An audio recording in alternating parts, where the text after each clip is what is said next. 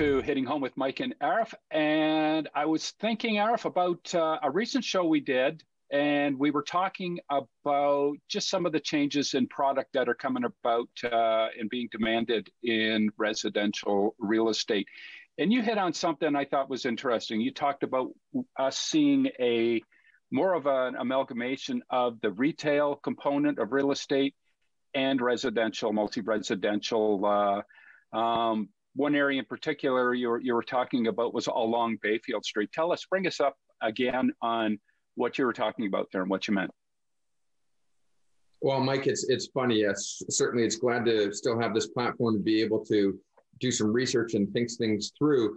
Uh, and, and, I will tell you, if there's one thing that I think we've all begun to figure out is that nobody's coming up with necessarily anything that's an earth-shattering concept or an idea, but certainly things that might have been on the sidelines or on the shelf even uh, up until 2020 are certainly now catalyzed into the forefront.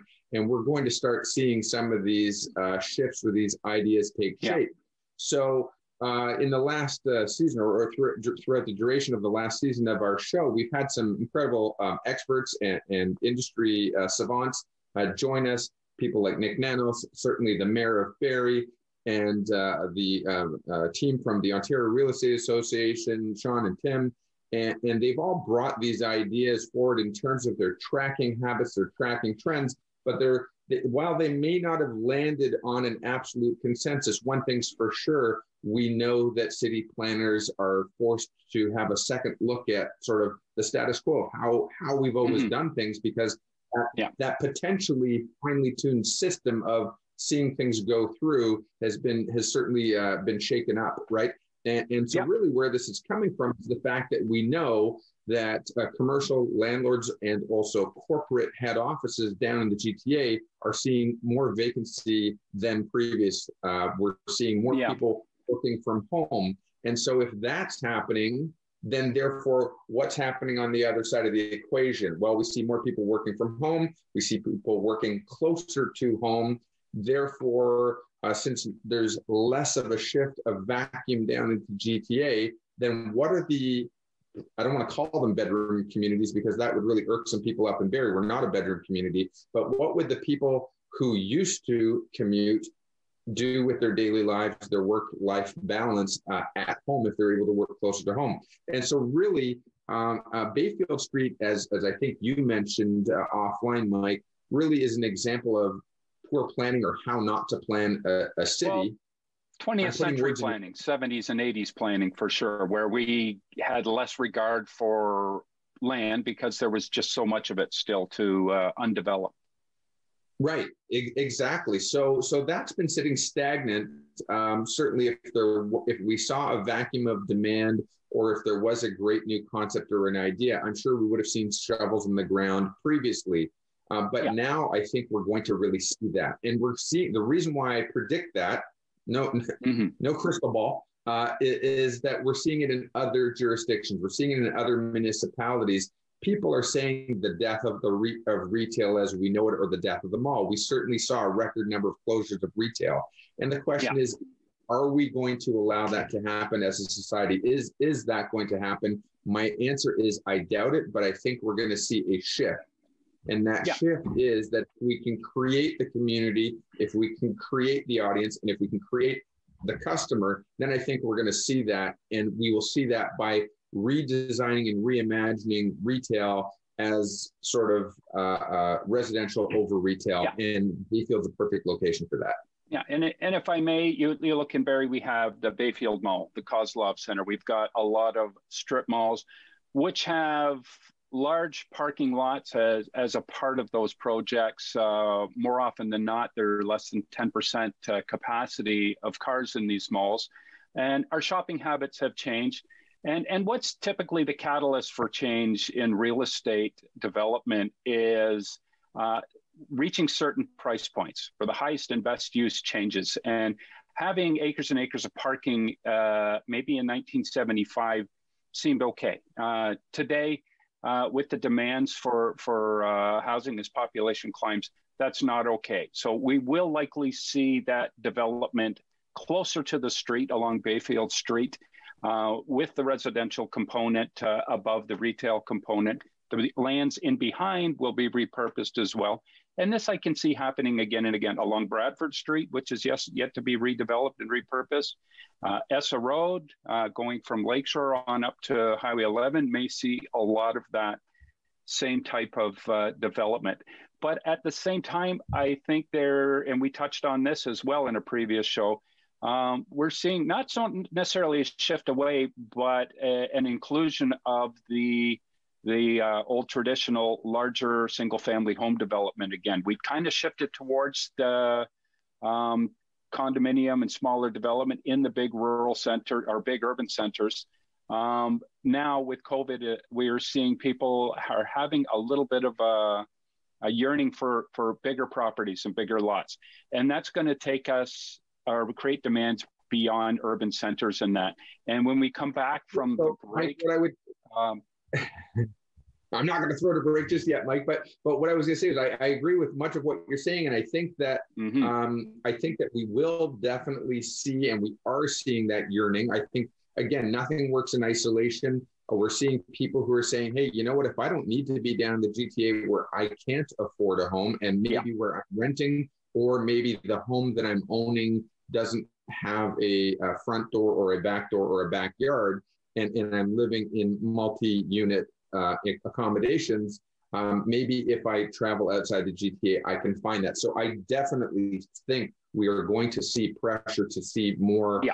um, either towns or single detached homes. I agree with you. But here's the yeah. other thing I think that doesn't work where we're not in isolation. You're right. We're, we're going to have to go to break shortly. But here's the thing technology does play a part. So nothing working in isolation means yeah. that, well, if you look down at uh, Markham or or York Region in, in general, certainly in Ottawa as well, you're seeing mass transit being prioritized. So I think Bayfield will become mm-hmm. a corridor for more mass transit, and I think you will see that technology has played a part in this yeah. decision making. Um, uh, we will see less people, uh, as you said, less cars in the parking lot, but technology in terms of the retail transaction is certainly having an impact. So we'll still see residential over yep. retail. We'll still see people doing a transaction online, but you know how this is going to morph into some sort of a hybrid system, I'm not sure. We got to go to break. Hold that thought and let's talk technology when we come back for the break.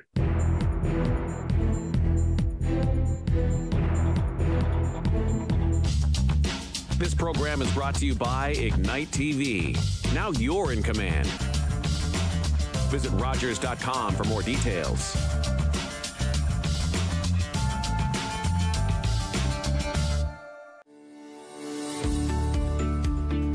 Being on the Midhurst studio tour, it's just such a great way to, you know, meet the people in your area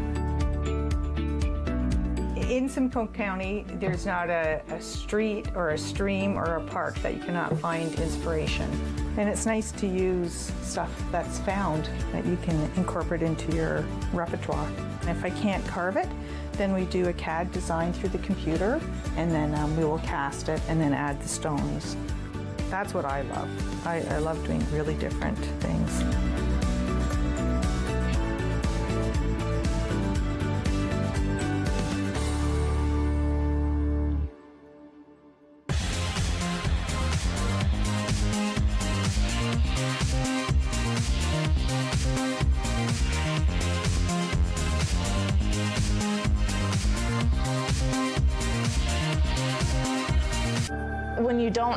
The people there to support you that you know you should, your world kind of like spirals. But United Way has been the biggest change coming into high school. Having the ability to help kids succeed is so important.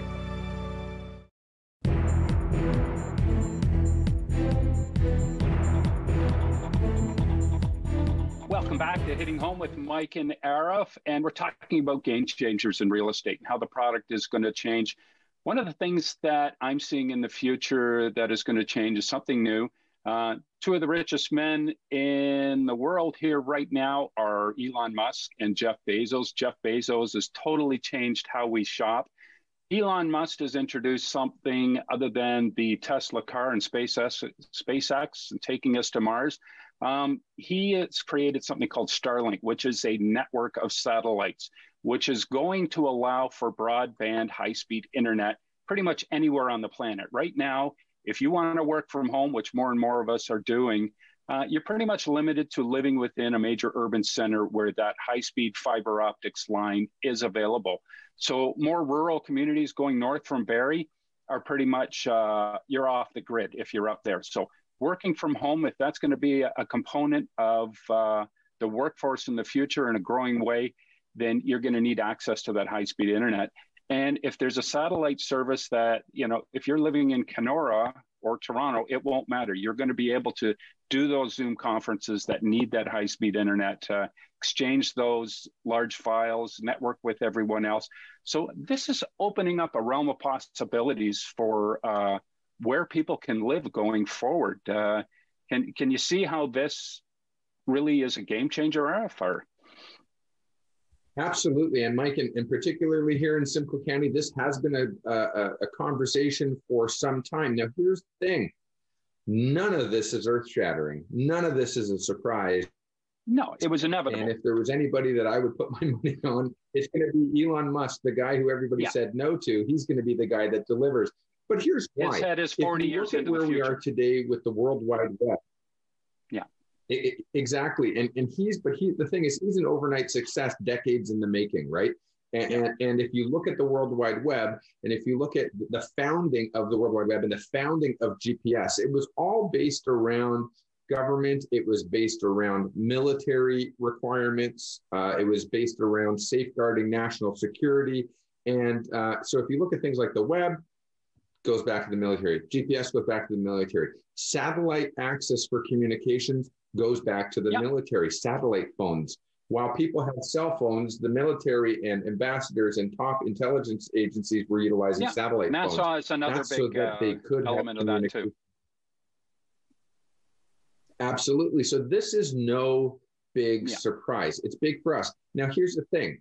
Elon Musk, uh, about two months ago, I'm guessing, sometime in the last quarter of 2020 was very clear to say, I'm bringing you Starlink. Now, here's the mm-hmm. thing it's going to cost you a little bit extra money and it's going to be pretty at lousy first. quality at first. If you go back to the first generation of an iPhone or the first generation of, of an Android, they were pretty fascinating back then. But if you were to take your phone today and go back to your first generation device, it would be pretty lousy. But yeah. in such a short period of time, yeah. It, it, yeah, I'd, I'd argue against that though, because I think the hardware technology is there today that this will be fast out of the box right now. And, and Elon Musk certainly sets his standards high enough that I don't think he'd release a program, a program uh, or product that didn't meet a certain standard. I think you might have challenges with with outages and that in the beginning, but I think in terms of the speed, whatever is offered will will be deliverable. And I mean, right I now across Canada, sorry, I just got to make this point: is uh, more than sixty percent of Canadians don't have access to broadband internet. And one area where that's predominant is in our uh, First Nations communities in the north. They don't have access to broadband. Um, this is going to bring them into the fold. It's going to provide uh, improvements to for uh, remote uh, medicine, and uh, it's also going to provide education opportunities remotely that is going to interconnect the whole planet. And where being remote was was a great disadvantage um, in past, it, it's going to level that playing field. It'll take some time for that to to, to show itself, uh, the results of that. But I, I think it's it's a great thing for our our country as a whole. Well, I, I, would I would suggest to you that, um, it, like I said, it, it has been on the docket, uh, certainly at the county of Simcoe for uh, several years, mm-hmm. probably five or six years at this point at least. Um, and, and the technology that they were looking at deploying and, and uh, actually uh, paying for uh, to bring this to the public um, yeah. is not Starlink. It's it's more of a satellite, uh, sort of like your Bell dish. I would have to presume. Yeah. I, I don't know the the absolute specifics on it, but I certainly think that speaking of game changers, uh, Elon Musk's uh, uh um, technology will create competition. Yeah. It, well, yeah. It will create and, and, uh, and the difference being, and it certainly will make it viable. Yeah. And the difference being in, in the technology you, you were talking about, uh, where existing satellite services where they were utilizing for that. And they're further out uh, from the Earth and there's lag. And you can't have lag. That would mean, as we're talking here, my voice and my video is not syncing up. And uh, what this Starlink satellite network is, it's literally only about two kilometers out into space. It's close by. Um, they're within a few kilometers of one another, one another, and interlinked. So that lag is eliminated. Um, and this is the first set of satellites that does that. But there are other players that'll be coming into it. Amazon is talking about getting involved with this. Uh, Telelink is another company. And you can bet uh, the four major players, uh, Shaw, Maclean's, Rogers, and Bell in Canada, will all either piggyback onto their hardware with their own uh, services or, or set up their own entirely different networks and that.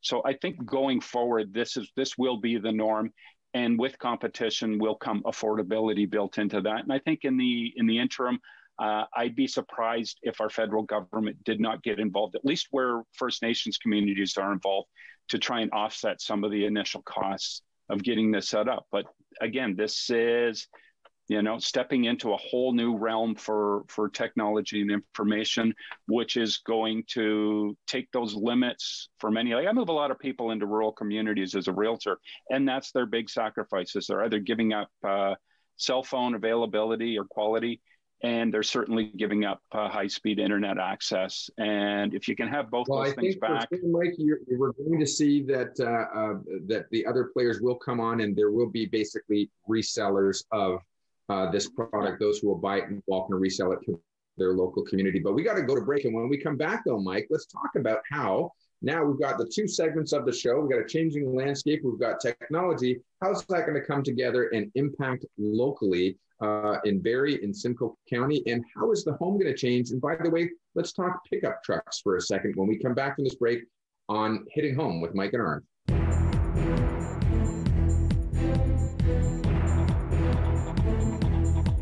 It's so inspiring to know that there's people out there that are willing to help people who've gone the situation that I've gone through. Because of United Way, I'm able to stand in front of you today with a good job that I can actually make something of myself. Hey, did you know? More than 4,500 Canadians are waiting for an organ transplant right now. Right now. 4,500. People are dying. And you could save a life. 90% of Canadians say they're willing to donate their organs. But only a few are registered. So what are you waiting for? Get registered. It's easy and it's free. Leave a legacy. Be a hero. Save, Save a, life. life. Find out how to register today. Go to kidney.ca. My wife, I want her to learn from you. Beautiful. It pleases me you've struck up a friendship together don't want to go back to the life I had before you. Did you do it? I didn't do this. No one's gonna believe you. I made one small mistake. I need you to call me when you're ready. What makes you think I'm gonna go along with this? Because it's your way out. You sure about that?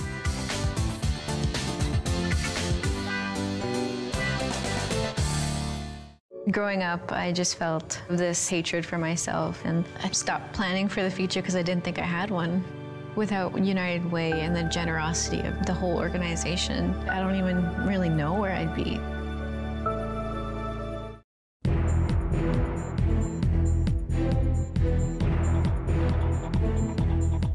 Welcome back to Hitting Home with Mike and Arif. And Mike, you know, um, as, as we've been talking about throughout the, the, the, past two segments, we're seeing this sort of mix and merge between supply, demand, and, and changes in technology and how technology and the market is meeting those demands. And it, and it brings me back to the story. And I, I touched on the idea of a pickup truck. But if you look back in the 60s and 70s, uh, uh, we, we probably had uh, mostly uh, single income families and therefore the requirement for the utility of a single vehicle. And Mike, probably in real estate, correct me if I'm wrong, we probably had homes that had single car garages. Yeah, and then they're still went, out there in those old communities. Yep. Certainly, uh, certainly one of my first homes, single car garage, and and as we grow and as our needs and demands and market demands change and pressures change, we certainly went into families that had dual income families and therefore the need for more than one vehicle. And uh, probably the houses changed to dual car garages. And so we typically would have the family sedan and maybe the utility vehicle. Certainly, if the family of one member was uh, in the trades, for example, there would be a pickup truck in the driveway. Yeah. Um, but now, it's as a status symbol if it's not a practical uh, need, anyways. The pickup truck nowadays. Absolutely, and that's just it, Mike. Now, certainly, we've seen pressures where, you know, income. People will argue that our income hasn't kept up. Certainly, uh, if you think that every ten years the price of things double, I don't think everybody's income has doubled in ten years. So we're now seeing once again certainly of the last 10 years, a trend towards perhaps uh, one vehicle in the driveway or lesser vehicles in the driveway. But that Mm-hmm. vehicle, that utility vehicle, has now become a status symbol, as you talk about, and certainly become fully appointed with technology and luxury. It's become uh, leather with an infotainment system, and, and pickup trucks are expensive Oh. and, and, and they're luxury vehicles. Yeah, the old Ford pickup with the bench seat and the, the AM radio uh, and the CB, uh, that's gone. They're, they are they're Cadillacs now. No, they, and, and literally, literally, they are Escalades and they're Lincoln Navigators and they're all, all, all sorts of Denali's and, and things like that. So, so why, why is that relevant? Well, if we look at what's happening, Mike, and, and what we've talked about on the show, we, we see that, um, and I certainly think that we can agree that there have been many ideas that have been sitting in sort of the wings waiting to take shape, and we're not sure when they're going to come or how they're going to come. And then you see a catalyst like we've seen in the year 2020 that certainly, as you referred to, is the game changer. And how did that happen? How did that roll itself out? Well, it changed where we live, it changed how we live, it changed how we access goods and services. It changed how we work. And so, what's going to happen when you take this blend of the things that we've talked about with people migrating, maybe choosing not to live down in the GTA, choosing places that have recreation in our backyard, like the mountains and like the lake and the trails and, and the mountain biking, uh, access to nature, uh, the backyard that we've talked about throughout this show, and blend that with technology, blend that with Starlink, blend that with mass transit, blend that with the likelihood that we will see a reshaping of the downtown as we know it, and certainly as major corridors through mass transit and retail, uh, residential retail. What's going to happen though, Mike, in this area in Barrie and Simcoe County? What type of home are people going to use? I'm seeing in finance and I'm seeing in applications, more and more people are thinking that cottage that I used to only get to spend the odd weekend at in the summer or a few weekends over the year. I now want to turn that into my four season home. I want to turn that into my daily home, and I'm going to willing to telecommute or work remotely and and make this my home and raise my family here. I I literally have a client I'm working with right now who purchased a home uh, in Clearview Township. The owners of that home, and it's a beautiful home. Um, I asked, "Why are you selling?" Uh, they have a cottage in Kenora, and that's going to be their full-time home. And and he's in the technology industry as well. And and this is what kind of spurned the today's subject because he says I'm going to be able to work from uh, the cottage now with high-speed internet. Internet. He is already connected as one of the beta testers for Starlink. So that was what got my wheels spinning on this show. And I thought, well, if he's doing it, this is going to become the norm. And more and more people are going to be leaving the city. And again, you're talking about changes that are dictated by affordability uh, with people. And yes, with two cars, uh, with the kids in this sport and that lesson and everything else, there, our costs of living uh, are, are going up faster than our incomes are. So we're looking for efficiencies elsewhere. And moving to a rural location is probably one of the biggest uh, uh, opportunities to save on your month to month. And again, having uh, being able to take that high speed internet and all those amenities with you to the rural uh, property is is that game changer. And I think we're going to see developers uh, tapping into this too and buying up some of that rural land that is fairly inexpensive because it was unserviceable uh, prior to now. And you know now that it will be you know virtually on the grid instead of off the grid, uh, it's it's now there uh, to to build on. We be it an independent URI wants to build our single home and uh, or convert the cottage to full time year round, and then the developers who are, are are going to be cherry picking some of that property in the early uh, years going forward. Mike, I, I, would argue that uh, th- this isn't going to go without a, a, challenge. And the challenge is going to be yeah. that municipality, well, certainly for the last 30 years, uh, there have been those uh, who have been pushing the idea of higher density is the, is the more intelligent, more economically viable way of doing things. We already proved many decades that you can't just have pockets wherever you want because no. it's impossible to afford to run the services there. So this is there is going to be again some pressure on that. We yeah. don't have a lot of time, but one of the things I would tell you is that it certainly is viable to slightly adjust your home base footprint to account for a, a, home office. The revenue revenue Canada, and I'm imagining in the states the IRS is doing something similar, is applying or allowing for tax credits if you have to work from yeah. home. Um, mm-hmm. So so there's been the environmental push. There's been the financial shift uh, towards uh, high density. There still is affordability, which Nick Nanos talks about. We're not going to get away from what people can and can't forward. But no. again, we're going to see this shake out. I don't exactly know what it's going to look like, but I'm, I'm willing to bet that if employers are willing to get away from uh, some of their lease obligations and their overhead, if Revenue Canada is in on it, if technology uh, partners and influences are in on it, you better believe that there is going to be a shift in the next five years. Yeah, for sure. Why don't you wrap us up? 30 and, seconds to you, Mike. How do you, how do you, I, I, look, I look forward to that shift yeah, I look forward to that shift. I think it uh, opens up a world of opportunities. And you know what? It'll have to be done in a balanced way. And of course, we do have uh, stop checks in place there for you know protecting our environment and every, everything else on rural uh, areas. But I think our dependence on the city uh, is shifting and changing, and I think our our living needs and demands are going to shift right along with it. So I look forward to that and Perfect. I'm going to throw I'm going to throw my industry under the bus, and I would say to you that, as usual, they're the last to get on board. The financial industry is going to have to yeah. shift the way they do risk assessment and, and underwriting because they have been oh, reluctant sure. to do this. We got to go, Mike, but I can't wait to see mm-hmm. what we talk about next on Hitting Home. So join us again. Thanks for being with us today on Hitting Home with Mike and Arif.